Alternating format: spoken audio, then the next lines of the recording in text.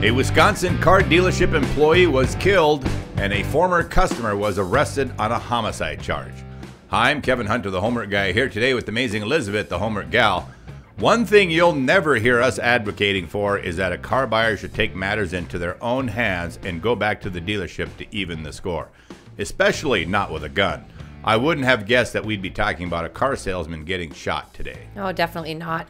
That was just posted on March 23rd. Law enforcement in south central Wisconsin is investigating a homicide where a former customer allegedly shot and killed an employee, apparently her salesman, at a car dealership. According to the Middleton Police Department, the incident happened around 1:35 p.m. on March 20th at the MSI Auto Sales location in Middleton. When officers arrived at the car dealership on Parmenter Street, a man was found with a gunshot wound. He was transported to a local hospital where he later died as a result of his injuries, officers say. Officers immediately began a homicide investigation, stating that the suspect was a woman who was known to the business and was a former customer. The release states that the incident began with an argument due to a dispute over a previous vehicle purchase. The suspect, identified by the Middleton Police Department as Jakira T. Anderson, was located shortly before 3:30 p.m. and was later arrested by the Madison Police Department without incident. Anderson, a 23-year-old from Fitchburg, was booked into the Dane County Jail on a tentative charge of first-degree intentional homicide. Captain Travis Kakaski from Middleton Police Department gave this statement.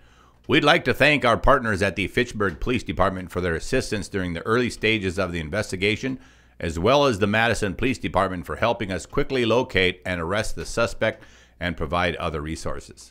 This investigation is still ongoing, and any witnesses are asked to call the Middleton Police Department at 608 824 7300, Madison Area Crime Stoppers at 608 266 6014 or on the web to p3tips.com. So if you happen to live in the area and have any information regarding this tragic crime, contact the local police at the numbers appearing on the screen or visit the website seen here. This is an ongoing investigation and no additional details have been released at this time. It was a short show today, friends. Remember, if you have a complaint about how you were treated at a car dealership, you have so many options to do that don't include going back to the dealership with a gun like this person did. Yes, do not go to a dealership with a gun. Definitely not. If you have a complaint, you can contact your local police. We've seen too many reports to mention of local police getting involved in investigating a car dealership with regard to car dealer mistreatment and fraud. The Attorney General's office is another great resource to file a complaint with. Tons of stories are cropping up right now regarding state AG's offices investigating and suing dealerships. And an FTC complaint is also widely known to get good results. That's right. You can also contact a consumer protection attorney in your state, describe what happened to you, and see if they'll take your case. These attorneys are paid by the offending party, in this case, the dealerships. All right, if you're new here at the Homework Guy channel and you don't want to miss our upcoming shows, don't forget to subscribe and ring that bell. Join our fast growing group of subscribers and become a part of our YouTube family.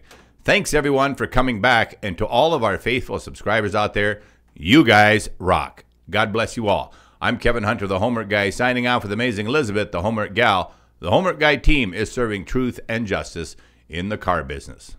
No guns involved. We, we gotta, gotta, go. go.